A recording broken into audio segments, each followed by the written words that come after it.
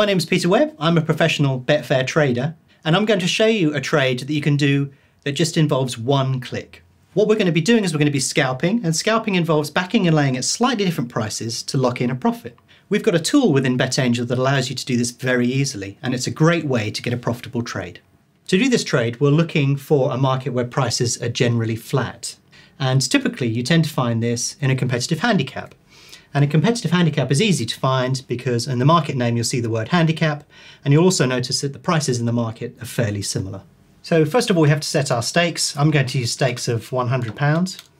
I recommend typically you would use somewhere between 2 to 5% of your bank. Um, if you're doing this for the first time, use practice mode or small stakes. That would make a lot of sense. And we're going to have a look across the market and we're going to use the Make Market button to do this particular trade. Just one click will put this trade through.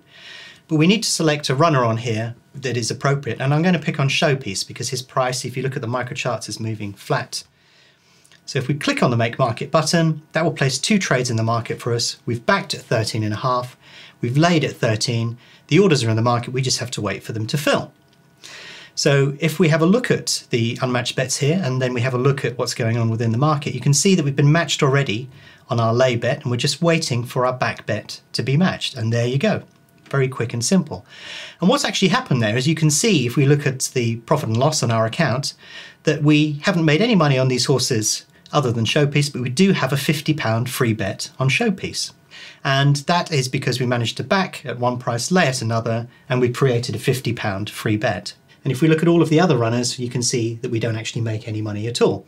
However, if we click on the green column at the top of the one-click screen, this allows us to hedge our position across the entire market. So rather than just winning £50 if Showpiece wins, we can actually make a profit regardless of whoever goes on to win this particular race.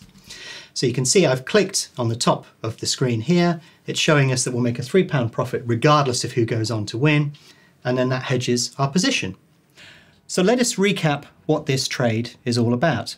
What we're doing is we're scalping, so we're looking for a tiny profit by laying at a lower price than we back at. And to do that, we're using the Make Market button on BetAngel. That places two orders in the market. When both of those orders are filled, we have our profit. Then we hedge that position so that we won regardless of whatever the result was in the actual race itself. One thing you must do, however, is if this trade doesn't work, then you must close your position before the start of the race. If you don't do that, then you're turning your trade into a gamble. So it's always important to close your position before the race goes in play. If you're interested in learning more about this trade, visit my blog, view a few videos, and download a copy of BetAngel and give it a try.